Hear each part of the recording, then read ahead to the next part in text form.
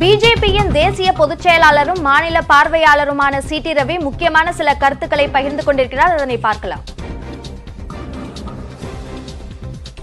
In Tamil Nadu state, major partner ADMK, they will decide their party uh, who are the leading, who are uh, next CM, they will decide.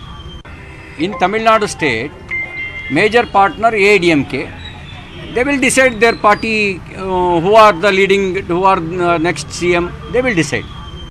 In Tamil Nadu state, major partner ADMK, they will decide their party uh, who are the leading, who are next CM, they will decide.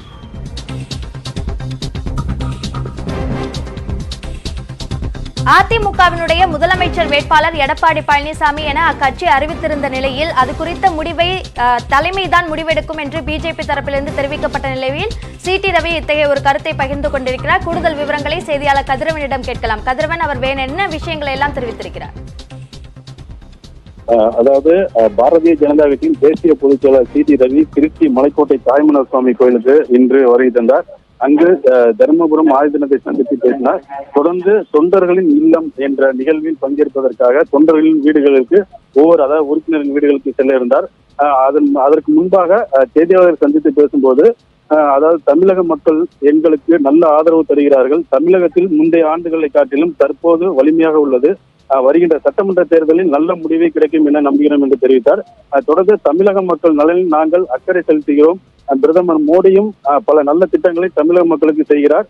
தமிழக மக்களுக்கு உண்மையாக நாங்கள் நடந்து கொள்கிறோம் என முடிவு எடுக்க வேண்டும் என்று தமிழக மக்கள் தெரிவித்தார். தொடர்ந்து தமிழகத்தில் அதாவது மூத்த பத்திரிகையாளர் திரு தராசு ஷாம் நம்மோட இணைப்பில் இருக்கிறார். சார் வணக்கம். பாஜக தரப்பிலிருந்து ஒரு தெளிவான முடிவை அந்த முதலமைச்சர் வேட்பாளர் தொடர்பாக சொல்லாத நிலையில தற்போது சி டி ரவி அதிமுக தான் ஒரு பெரும்பையா பெரும்பான்மையான கட்சி. அதனால அவங்க தான் முதலமைச்சர் வேட்பாளரை முடிவு செய்வாங்க அப்படின்னு சொல்லியிருக்கிறாரு. இத கட்சியோட ஒரு முடிவா நம்ம எடுத்துக்கலாமா? கண்டிப்பாக. காரணம் அவர்தான் தமிழகத்தின் பொறுப்பாளர். அவருக்கு மேல் இருப்பது அந்த- அந்த பாரதிய ஜனதாவின் பார்லிமெண்டரி போர்டு அவர்கள் முடிவெடுத்து அறிவிப்பது என்பது அதிகாரபூர்வமான முடிவுதான். இருந்தாலும் திரு. ரவி அவர்கள் கூறுவதை நாம் அதிகாரபூர்வமானதாக எடுத்துக்கொள்ளலாம் அதிமுகவுக்கும் பாரதிய ஜனதாவுக்கும் இடையே இருந்த பிணக்குகள் தீர்ந்து விட்டதாகத்தான் நான் உணர்கிறேன். இன்று பாமகவுடனான கூட்டணி பேச்சுவார்த்தையும் அநேகமாக இறுதி செய்யப்பட்டு விடும் என்றுதான் நான் நினைக்கிறேன். ஆக இப்போது பாக்கி இருப்பது தொகுதி பங்கீடு மட்டும்தான். கூட்டணி உறுதியாகிவிட்டது. தொகுதிகளின் எண்ணிக்கை உறுதியாகவில்லை. ஆக அந்த தொகுதி பங்கீடு வரும்போது ஏதேனும் வேறு பிணக்குகள் ஏற்படலாம். எண்ணிக்கையிலே ஏதேனும் குழப்பங்கள் ஏற்படலாம். இப்போதைக்கு அதிமுகவின் பழைய கூட்டணி பாரதிய ஜனதா பாமக ஆகிய இரண்டும் அந்த கூட்டணியில் இருக்கின்றன.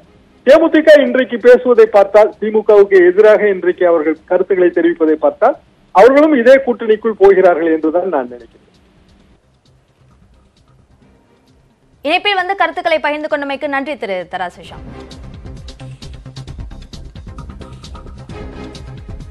அண்மை செய்திகளுக்கு இணைந்திருங்கள். இது நியூஸ் எயிட்டின் தமிழ்நாடு.